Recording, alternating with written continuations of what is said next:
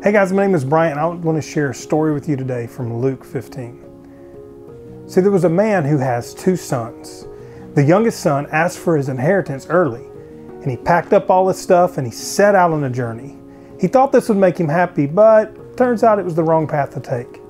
He ends up spending all his money and losing everything he has. He has to work in a pig pen all day, feeding them, and he's got nothing to eat himself. He was so hungry, he was willing to eat the pig food. He then realizes that every worker back at his dad's house has plenty of good food to eat. And he realizes he was wrong to have left. He heads back home to repent to his dad.